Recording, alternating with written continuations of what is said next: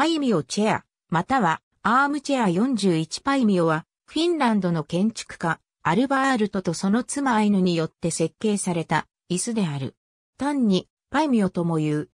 パイミオのサナトリウムのために、1930年から1931年にかけて設計されたアームチェアであり、椅子の名前は、そのサナトリウムのある町、パイミオに由来する。1932年に製品化されている。椅子の高さは64センチメートルであり、幅は60センチメートルであり、奥行きは80センチメートルである。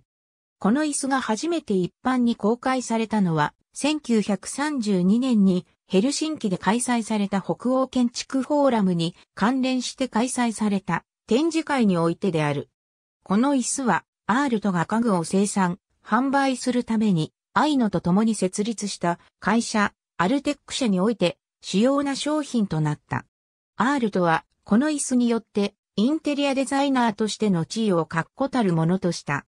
アールトは、1927年から1928年にかけて、マルセル・ブロイヤーが設計した交換性の椅子、ワシリーチェア2層を得て製作した。この椅子は、ラメラマ劇と呼ばれる技術を用いて製作された。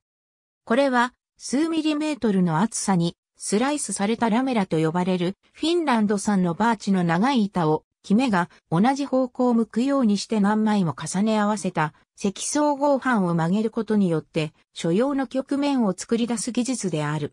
椅子の座面及び背もたれは1枚の積層合板から構成されている。ありがとうございます。